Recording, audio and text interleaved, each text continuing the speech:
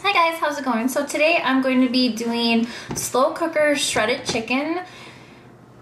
So the reason why I'm going to be doing this recipe, it's super easy and it's going to cook the chicken that I need for another recipe that I will be doing shortly on my channel.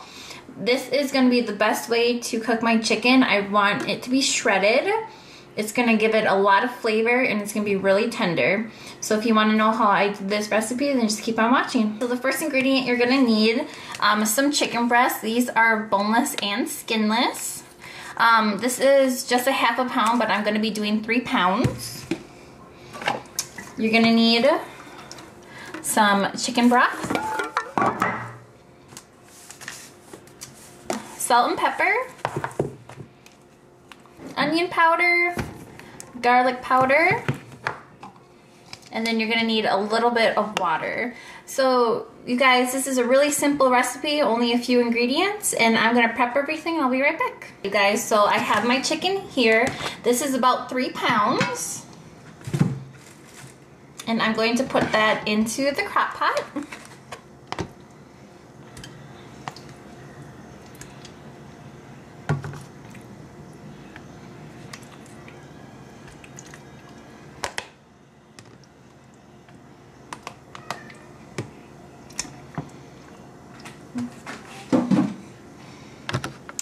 So it's gonna look something like that. Just arrange them nicely so they're just sitting at the bottom. Take our salt and we're gonna do a good seasoning. We're gonna take our garlic powder.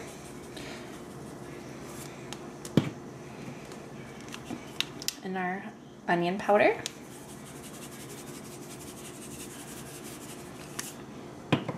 And then just a little bit of pepper, not a lot. And then I'm going to mix this all together. Make sure everything is good and coated. We don't want any of them to be left out. So just like that. Now we're gonna add our liquid. So for every pound, it's gonna be a half a cup of water or chicken broth. I'm gonna be using chicken broth just because I feel like it gives it more flavor. So I have three pounds, so I need one and a half cups.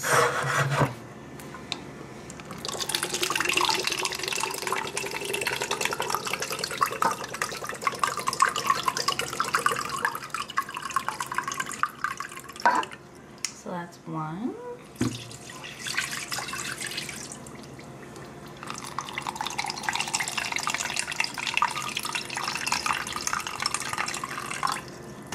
And a half. Okay, so it should look something like this. Just gonna kind of move it around a bit.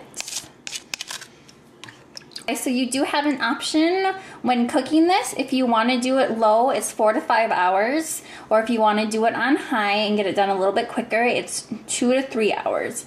Um, because I'm not going to be using this chicken today, I'm going to put it on 4 to 5. I just feel like the lower and slower you go, it's going to be more flavorful. And I am going to put my timer on. You guys, so it's been a couple hours.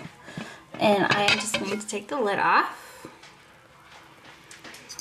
And then what I'm going to do is I'm going to start kind of breaking up the chicken.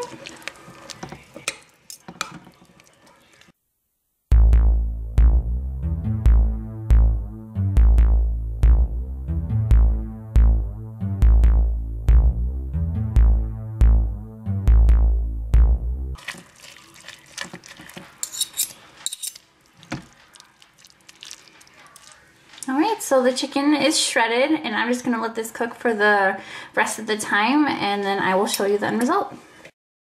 Alright you guys, so the chicken is done. It's all cooled down and it looks amazing. It's like just coming like right apart.